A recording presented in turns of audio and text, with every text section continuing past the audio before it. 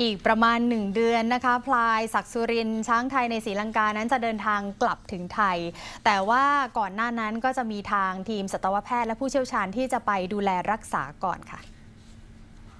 Viene que va a dinar. พลายศักดิ์สุรินทร์ได้ออกเดินเล่นในสวนสัตว์ในประเทศศรีลังกานะคะ มีควานช้างคนไทยเป็นคนควบคุม นี่คือส่วนหนึ่งของการเตรียมพร้อมให้เกิดความคุ้นเคยกับควาน แต่ว่ายังคล้องโซ่ที่ขาอยู่นะคะ การเดินทางครั้งสำคัญกำลังจะเกิดขึ้นวันที่ 1 กรกฎาคมนี้ ระหว่างวันที่ 6-9 มิถุนายนจะมีทีมสัตวแพทย์จากกระทรวงทรัพยากรธรรมชาติและสิ่งแวดล้อมที่เดินทางไปสมทบ เพื่อไปดูแลด้านสุขภาพ อาการป่วย แล้วก็ซักซ้อมการขนย้ายค่ะ การขนย้ายครั้งนี้ก็จะใช้ตู้ขนย้ายสัตว์ขนาดใหญ่ขึ้นเครื่องบินอินชูยินอิล76 นะคะ โดยที่ไม่ให้ยาซึมกับช้าง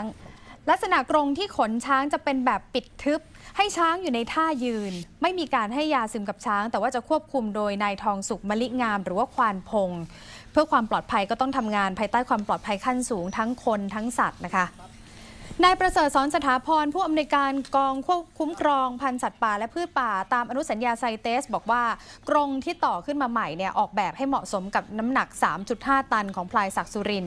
ระหว่างนี้มีการดำเนินการตามขั้นตอนต่างๆ ในข้อกฎหมายค่ะ ตรวจสุขภาพ กักกันโรค แล้วก็มีการดำเนินการเอกสารใบอนุญาตไซเตสนำเข้าส่งออกให้พร้อมก่อนเดินทางกลับไทย ส่วนทางนายสัตวแพทย์สิทธิเดชมหาสาวังกุลที่ปรึกษาผู้เชี่ยวชาญด้านสัตวแพทย์องค์การอุตสาหกรรมป่าไม้ บอกว่าควานพง ควานช้างเดิมของพลายศักสุรินนั้นจะเดินทางไปศรีลังกานะคะ จะไปฝึกให้เดินเข้าออกกรงจนช้างคุ้นชิน ก็ต้องเดินทางนาน 5-6 ชั่วโมงบนฟ้า กว่าจะถึงสนามบินนานาชาติเชียงใหม่ และศูนย์โคชบาลช้างจังหวัดลำปาง ที่จะรับช่วงเลี้ยงแบบกึ่งธรรมชาติ ให้เดินให้หากินในป่าพื้นที่เฉพาะค่ะ